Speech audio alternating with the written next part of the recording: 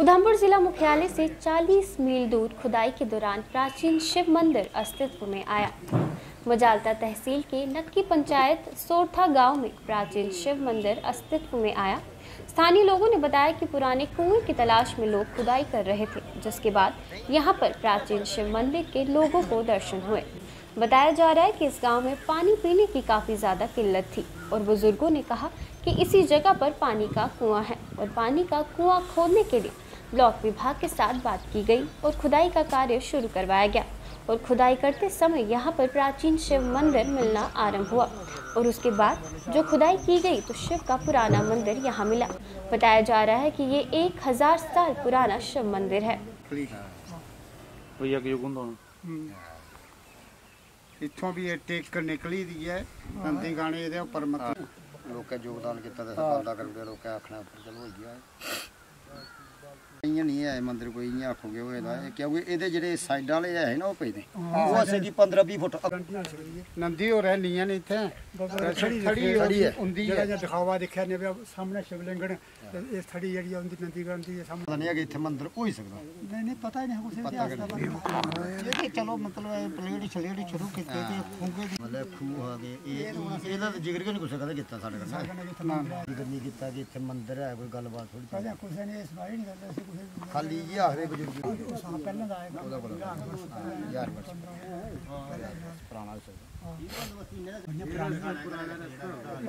ਹੈ ਸੀ ਪੰਜ ਦਾ ਹੈ ਉਹ ਜਿਹੜਾ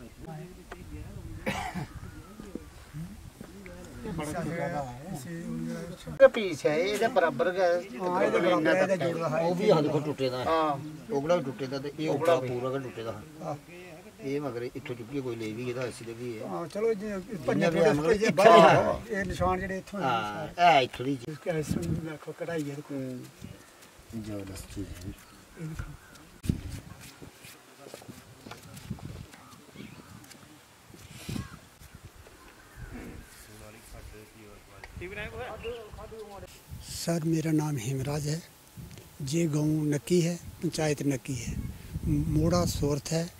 वार्ड नंबर पाँच है।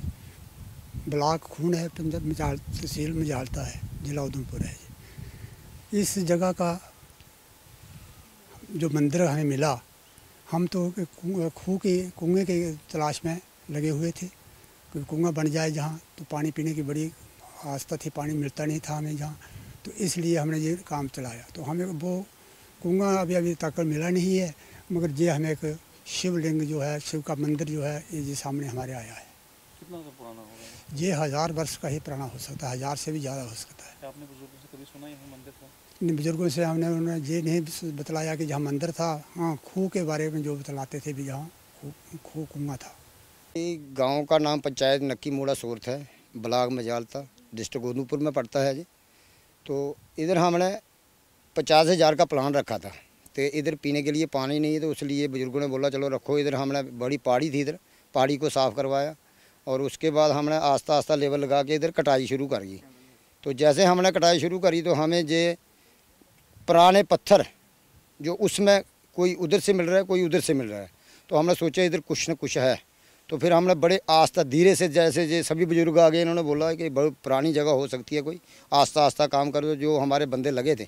उनको भी हमने बड़े तरीके से समझाया कि भाई ज़ोर से गंती ना मारो बे कई ना मारो मतलब प्यार से निकालो। तो हमने जैसे जैसे मिट्टी उठाते गए कोई पत्थर वहाँ गिरा है कोई वहाँ गिरा है ये खाली शिवलिंग ही हमें इधर से मिला है जो शिवलिंग के पास जो जलैरी होती है उसके पास जो चारों ओर पत्थर लगा होता है वो भी हमें उधर से नीचे से नहीं मिला मतलब बीस फुट आगे से मिल रहा है। तो हमें ये भी शक पड़ता है कि, कि शायद ये तोड़ा गया हो उस ज़माने में। तो हमारी गवर्नमेंट से यही अपील है कि जल्दी से जल्दी जहाँ पानी का अरेंजमेंट किया जाए क्योंकि इधर पब्लिक आना शुरू हो गई है। तो आगे से हम ये भी गुजारिश करेंगे एडमिनिस्ट्रेशन से कि जल्दी से जल्दी इधर कुछ काम करें इसके हम लोगों की जुड़ी हुई आस्था है तो इधर अच्छा धार्मिक स्थान बन सकता है। कितने साल पुराना हमारे हिसाब से कोई हज़ारों साल हज़ार नौ सौ साल पुराना ही हो सकता है नया तो है नहीं है।